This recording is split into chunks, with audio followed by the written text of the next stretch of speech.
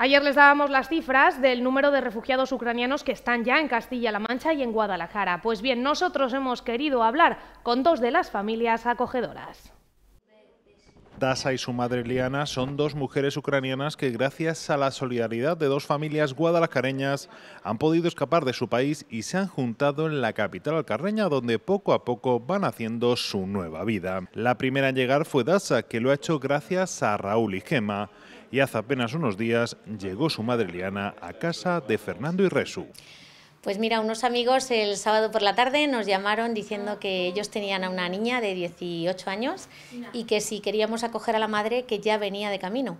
Así que ante, ante circunstancias tan complicadas, pues soluciones rápidas. Eh, no nos lo pensamos y rápidamente se lo comentamos a nuestros hijos y tomamos la decisión de acoger aquí a la mamá para que estuvieran la hija y la mamá eh, unidas lo más posible. Tanto Raúl y Gema como Fernando y Resú no han dudado en ningún momento acoger a estas mujeres en sus casas para darle un hogar y así poder escapar de la guerra. De esta forma se demuestra la solidaridad que hay en Guadalajara. Si se quiere se puede, porque nosotros somos una familia numerosa eh, de Guadalajara de toda la vida y Guadalajara es una ciudad muy solidaria y igual que nosotros hemos podido, cualquier persona de, de España y cualquier familia de España, estoy segura que tiene un rinconcito para poder acoger a gente que es normal y corriente de Ucrania y que lo tenemos aquí al ladito. Con el paso del tiempo, tanto Liana como Dasa irán aprendiendo español y será más fácil la comunicación, mientras el inglés es el idioma predominante. What are you preparing?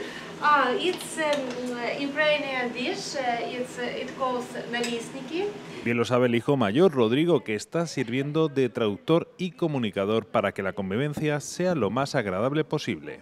Pues bastante bien, la verdad, porque la, la comunicación al fin y al cabo nos comunicamos en inglés y más o menos nos entendemos y cada vez eh, tiene muchísima inquietud por aprender el español y cada vez sí que va soltando frases, así que pues empezó bien pero cada vez mejor. El padre y el hijo todavía están en Ucrania, pero gracias a la solidaridad de varios amigos también han conseguido traer a una hermana de y a una sobrina que acaban de llegar a Guadalajara y esperemos que no sean los últimos.